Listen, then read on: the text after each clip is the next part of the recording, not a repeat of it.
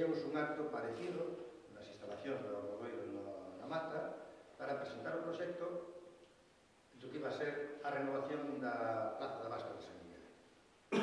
Todos puxestes o vosso empeño, o vosso, o vosso interés, o vosso traballo, a vosa atención, e pouco a pouco aquel, aquela plaza que entrando aquí, pois a verdad, estaba nun estado lamentable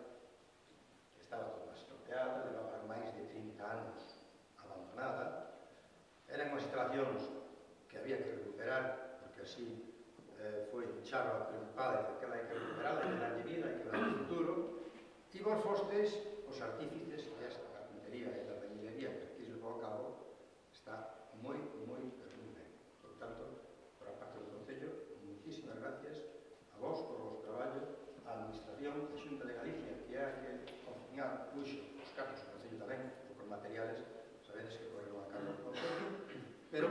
relacionado o vosso salario durante estes seis meses correu a cargo da Xunta de Galicia, por eso quero agradecer públicamente a participación, a colaboración e a axuda da Xunta de Galicia para que esta obra fora adiante e se rematara nas condicións que se rematan. Cuando empezamos el obradoiro estaba yo presente, yo siempre dije, esto tiene como objetivo la colocación, la inserción laboral por cuenta ajena y por cuenta propia.